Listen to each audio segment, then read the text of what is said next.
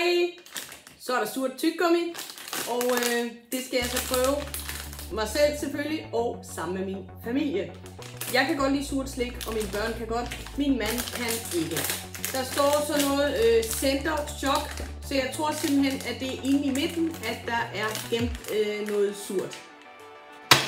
Her er pakken simpelthen, og hvis vi kigger nærmere på, så står der her øh, Center shop, og så er der et billede af, at der er noget inde i midten surmix, øh, så vi håber, at det bare er kanonsurt, for det kunne være rigtig sjovt. Nu åbner jeg simpelthen den her pose, hvis jeg kan. Øh, det kunne jeg godt. Og øh, der er nogle forskellige slags her.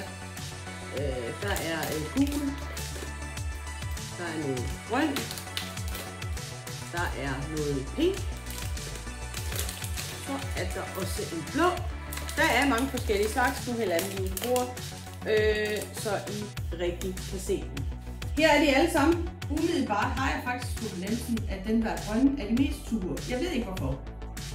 Jeg prøver simpelthen den her, en grøn, og der står øh, Hidden Apple udenpå.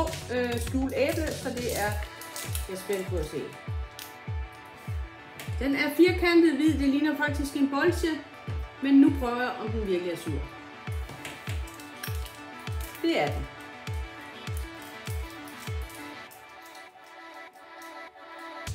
Den er faktisk mega sur.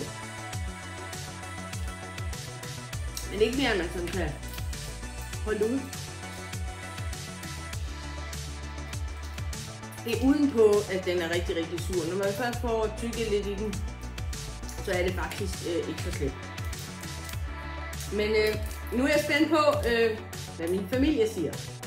Så øh, får Naja lov til at vælge et stykke, og det bliver spændende, hvad hun tager. Får den blå. Så er det bare med at åbne og se, hvad der gemmer sig af sur smag derinde i. Så kommer sandhedens time.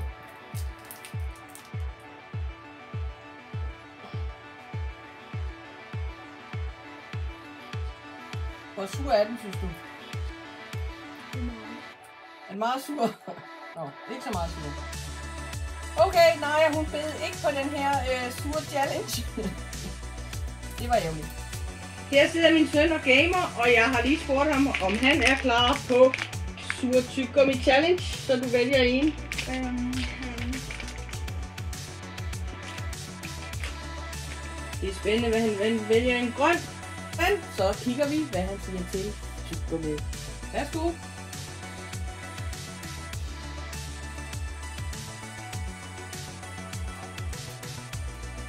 Er det surt?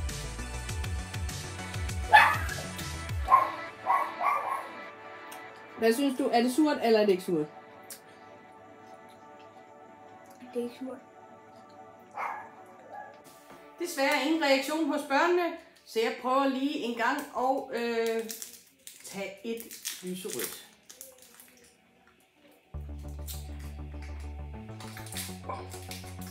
Der var noget i. Det var mega surt. Uha. Det er simpelthen så surt, at det faktisk er bitter. Jeg tror, min mand han vil have en kanonreaktion på det her. Jeg tror, jeg vil vælge, at han skal have et lyserødt tyggegummi. Så vi kan jo se, hvad der sker øh, lige her. Så er det simpelthen min mands tur til at spise det her tyggegummi. Prøv at dufte til. Så er det nu.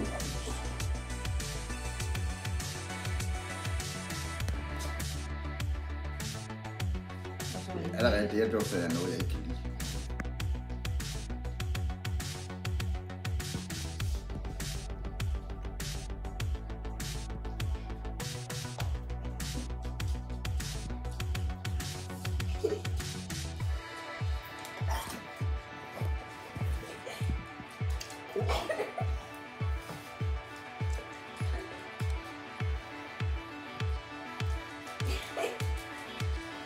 dufter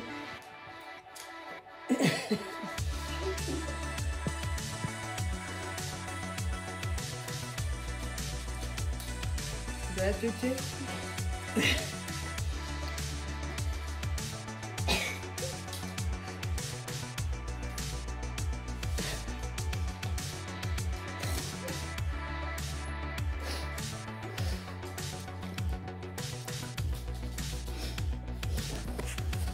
Så er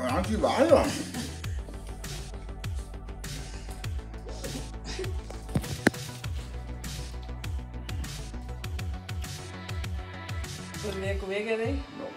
Kan du godt lide surt tyggegummi? Nej. Vil du have et stykke til? Nej. Prøv at rate det fra 1 til 10. Lort. Så har vi lige legnet familien op her, og vi skal se deres raw reaction på de her sure tykkegummier. Så vi siger 3, 2, 1, nu!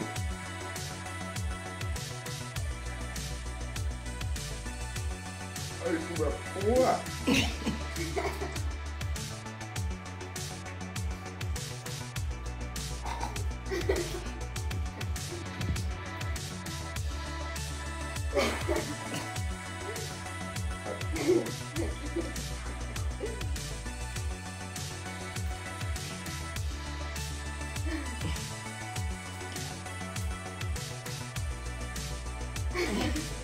Nej, det var klamt. Jeg vil have den. Stop det.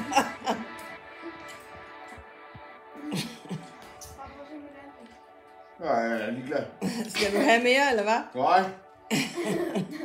Det der, det var drum. Er den mere sur end den anden? Ja. Så var der fri. Jeg har ikke med cola at gøre. Hvad smager den så af? Det var ligesom at få sådan. Jo, det kan godt være, det var cola, men det var syret. Rigtig syret cola. Det var ligesom om, vi har sat alt sukker og alt, øh, og kun beholdt syren. Og så Allerede det, jeg dufter af noget, jeg ikke kan lide.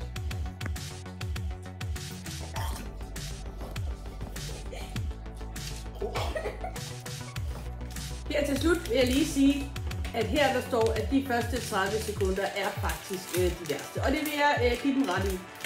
Når du har tykket lidt på det, kommer det faktisk til at smage ganske normalt af boblebund.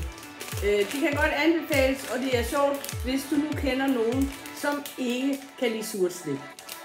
Men øh, indtil vi ses i næste video, så hyg jer.